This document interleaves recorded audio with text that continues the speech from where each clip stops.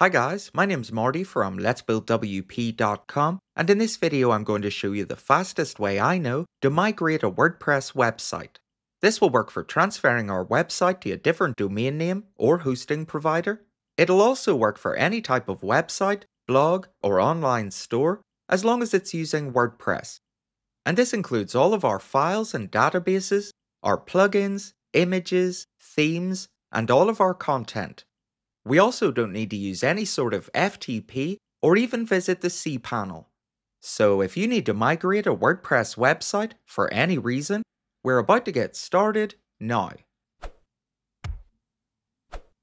Okay, so for my example, I'm going to be transferring this website. It's being hosted by Bluehost, and it's using a temporary domain name. Then if I click into my other tab, this is the website I'm wanting to migrate it to. This one's using HostGator as the host, and if we look up at the top, we'll see that it's using a different domain name. So basically, before we get started, we just need to make sure WordPress is already installed on the website we're wanting to migrate to. Then once we're logged in to both sites, we're going to head back to the website we're wanting to migrate and visit the dashboard. Then we're going to hover over plugins on the left and click add new. Now we need to click into the search bar in the top right and type backup migration.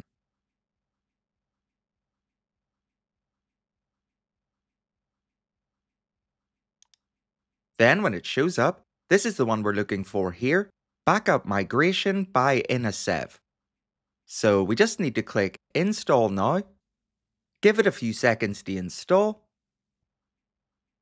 and then click Activate. Then once it's active, we can just click skip for this pop-up and we're done. Now we're going to head over to our other site and install and activate the same plugin.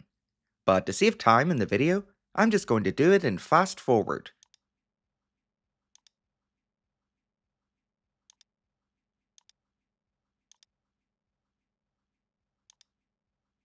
Then once we have the migration plugin installed on both sites, we're going to make a backup of the website we're migrating.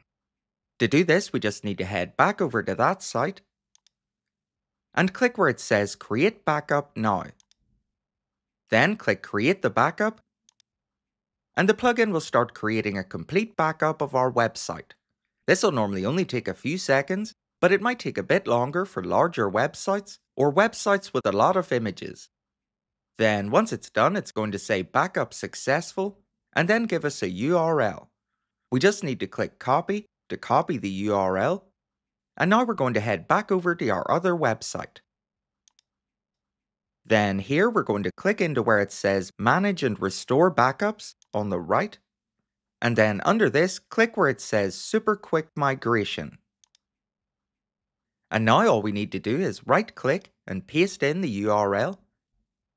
Then we're going to click Restore Now and the plugin will start uploading the files.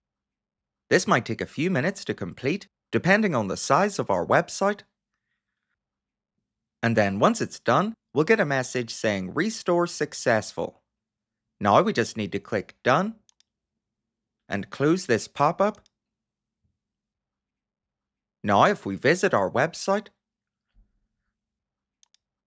we'll see it's an exact copy of the original website and this includes all of the content, files, plugins, and everything else. So that's us now at the end of this video, and that was the fastest way I know to migrate a WordPress website.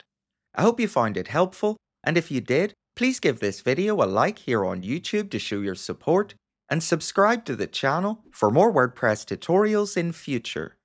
Once again, my name's Marty from letsbuildwp.com, and thank you for watching.